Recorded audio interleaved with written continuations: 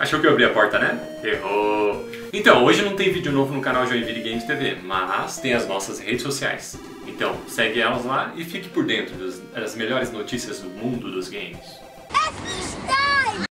Olá, amiguinhos! Aqui quem fala é do Canecanador Chapado eu tô aqui hoje pra falar pra vocês... Não compre PES no Xbox! Tu fala isso, cara? Sim, pessoal, é isso aí. Eu falei brevemente sobre isso já em vários vídeos aqui no canal. Mais recentemente eu falei isso num vídeo lá, é, é, falando sobre PES e FIFA tal, que o PES não presta no Xbox. E eu vou explicar agora o porquê, porque muita gente veio me pedir, mas Jean, eu não entendi. Por que, que eu não devo comprar o PES no Xbox? Ih, rapaz. Então eu vou explicar direitinho aqui por que, que eu acho isso, por que, que eu acho que não vale a pena você gastar 200 mangos aí no PES da versão do Xbox One. Então, bora lá, bora conversar sobre isso enquanto vocês assistem uma partidinha. Então bora lá, vocês estão vendo aí a partida e até uh, o que tem nessa partida aí até que serve um pouco de exemplo, que vocês estão vendo aí que eu estou utilizando o uniforme do Valência e esse é um uniforme que não tem no PES, o PES não tem a licença para utilizar o símbolo e o uniforme do Valência, mas aqui no Playstation 4, que é onde eu joguei essa partida que vocês estão vendo, eu tenho essa possibilidade de colocar o Option File e essa é a principal razão de você não comprar o PES no Xbox. Porque não dá para colocar Option File, então todas as, a, os modos offline de jogo, né? Master League, o modo jogador, eles acabam ficando meio sem graça, porque em vez de você jogar com é, o Valência, por exemplo, você quer botar um jogador no Valência, você quer jogar uma carreira com o Valência, você não vai jogar, você vai jogar com, sei lá, M, é, VL Black and Orange, sei lá, sabe? Tipo que nem o, o Real Madrid é M White, o, o, a Juventus é PM Black and White, sabe? Então Todos esses nomes ficam genéricos, os jogadores são reais, ok, isso é de boa, obrigado, PES. Mas, realmente, essa putaria, digamos assim, de não poder colocar o Option File no Xbox, que não é culpa da Konami, quero deixar claro aqui, isso é culpa da Microsoft, se bem que a Konami podia ir lá com a Microsoft e falar, ah, ah, ah, Microsoft, não dá pra botar só no PES, tal, botar uma opção pra gente poder fazer isso, podia tentar fazer uma coisa assim, mas a Microsoft acaba não deixando você colocar imagens dentro dos jogos através de pendrive, essas coisas, né? Uma coisa que a Microsoft proibiu. Em nenhum jogo você pode fazer isso, tá? Então, é, você só pode usar as coisas que tem no próprio jogo para você criar as imagens. Então você acaba não conseguindo fazer com que é, fique realista, digamos assim, né? Você não consegue colocar as licenças dentro do jogo igual eu consigo fazer aqui no PlayStation 4, né? É no PlayStation 4, principalmente para esses modos, é mais legal que, por exemplo, o Brasileirão, mesmo o PES tendo vários times com o um elenco completo, ele não atualiza os elencos, tá? É uma coisa que ele acaba não fazendo. E ele também não tem todos os elencos. Então, às vezes, tem ali o time, tem lá, sei lá, o esporte. Eu não sei se o esporte está licenciado ou não. Mas não tem os jogadores do esporte, sabe? Tem os jogadores genéricos lá, o, é, é, sei lá, o Leitinho. Não, Leitinho é do, do, FIFA, né? Mas tem os jogadores lá com nome esquisito, é, Mascarenhas, que tem bastante no PES. E você acaba não tendo esse proveito, né, cara? Então, o modo, os modos offline, a Master League tal, que são carros bem grandes assim, né? São modos bem é, é, visados dentro do PES, são modos divertidos pra caramba de se jogar. Eu tô jogando aí a Master League com o Milan, é, quem tá acompanhando aí tá vendo, tá, pô, tá divertido pra caramba. É, tem um óbvio que tem vários problemas, tá, galera? Não vou, aqui não é o ponto desse vídeo, mas é, isso acaba se tornando algo que eu acho que é muito sério, principalmente nesses modos online, é, modos offline, perdão. E outro motivo é o seguinte, tá? Já que os modos online vão acabar ficando aí, é, sei lá, defasados, você não vai conseguir jogar tanto, não vai conseguir tirar tanto proveito deles quanto você consegue lá no PlayStation 4, né, no Xbox One. O que você deve fazer é, é, jogar um modo online daí, né? Que a maioria da galera que joga o My Club, né? Pouca gente joga temporadas lá tal, então a galera acaba tendo foco mais no My Club. E o que acontece? O My Club é de graça. O My Club é de graça, é só você procurar. Tem vídeo aqui no canal ensinando você como baixar certinho aí no Xbox, tá? É, procura aí o vídeo.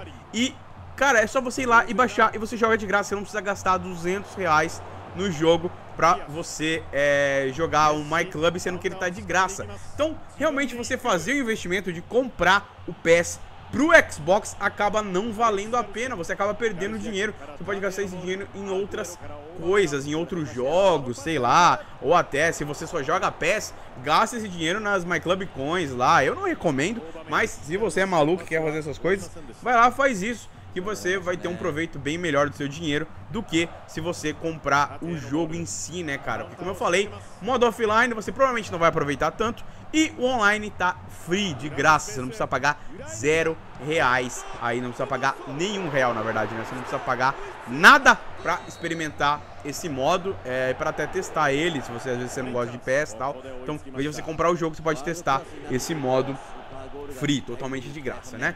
Outra coisa, outra coisa que acaba influenciando bastante é que o PES 2019 está disponível no Game Pass da Microsoft. Para quem não sabe o que é o Game Pass, é Pass não, PES, ele é tipo o Netflix dos jogos, digamos assim, tá? Só que ao invés de você jogar o jogo por streaming, né, você pode baixar o jogo no seu console.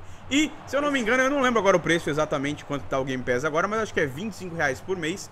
E você não tem só acesso ao PES, você tem acesso a uma lista imensa de outros jogos. Então, ao invés de você gastar 200 reais só no PES, eu acho que o PES deve estar mais barato agora, né? Deve estar 90, sei lá. Você pode pagar 25 reais pra testar um mês aí. Eu não sei se tá 25 ainda, tá? Mas vamos chutar aqui que seja mais. Vamos botar 40, vai. Você paga 40 reais pra acessar um mês aí o Game Pass. E além de você ter o PES pra você jogar, você vai ter, sei lá, tem o, o Sea of Thieves, tem uma porrada de jogo lá, Gears of War, não sei o que. Tem um monte de jogo da hora no Game Pass que você vai ter acesso também. Então, é, o seu dinheiro acaba sendo gasto à toa se você comprar só esse jogo, sendo que ele está disponível no Game Pass. Se você assinar o Game Pass e vai ter acesso a outros jogos, você pode jogar um modo online de graça, que é um modo que vai ser mais atrativo para quem joga no Xbox, já que os Option Files acabam não sendo possíveis de serem colocados é, no, nesse console, né? Infelizmente a Microsoft proíbe isso e isso acaba cagando com a experiência offline do PES, né, cara? Acaba sendo realmente algo que não... Eu, pra mim não condiz, cara. Pra mim, é, é, os modos offline realmente que interessa é a Master League o modo jogador. E sem licenças, acaba ficando meio chato, que você vai enfrentar jogadores aleatórios, você vai enfrentar é, times com escudo nada a ver, tal. Isso pra mim acaba tirando um pouco da realidade, da, não da realidade, da imersão que você tem nesse modo, né? Esse modo da Master League, esse modo da, do modo jogador, que são modos que você tenta, né, fazer um negócio mais legal, mais parecido com a realidade tal. Tenta ganhar campeonato, ganhar, que no meu caso, ganhar Série A, ganhar Copa, não sei o que. E quando você acaba tendo esses pequenos problemas, né? Você acaba não tendo essas licenças, acaba tendo esses jogadores genéricos. Na minha opinião, acaba dando uma boa é, degradada aí na experiência que você tem com o jogo, né, cara? Mas, então é basicamente isso. Essas são as razões. Vamos listar de novo aqui. Não pode colocar Option File, então, como eu já falei ali tudo antes, vai ficar tudo meio genérico ali, vários times genéricos, é, que você não vai poder ter escudo, ou uniforme, ou às vezes até escalação do time. Depois, o modo online, que é um modo que você provavelmente vai mais jogar no Xbox, ele está de graça, ele é free, grátis, pra você baixar. Tem vídeo aqui no canal ensinando, procure aí, é bem fácil, bota lá, PES 2019 de graça, você vai achar facinho lá o vídeo.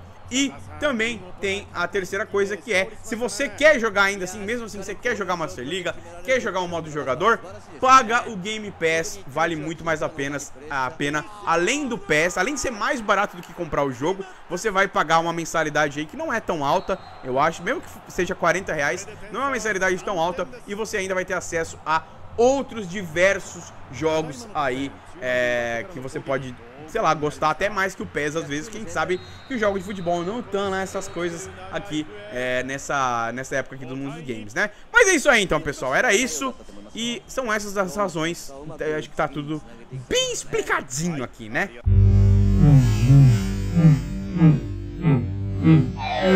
Ah! Ah!